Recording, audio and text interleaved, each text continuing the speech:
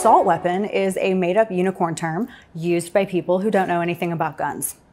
See, usually when anti gun individuals talk about uh, assault weapons. They're actually talking about semi-automatic rifles. They're talking about just modern sporting rifles that one squeeze of the trigger equals one bullet. But the assault weapons ban and the ever incessantly proposed assault weapons ban, they want to state that if you have a semi-automatic rifle and you add three or more cosmetic features, somehow that makes the bullets come out faster. If you have a barrel shroud with, uh, I don't know, a collapsible stock and a pistol grip which it doesn't do that at all. They purposefully state this term to conflate assault weapon with semi-automatic so that they can get people to be comfortable with the idea of banning semi-automatic guns. So, cosmetic features don't make a gun shootier.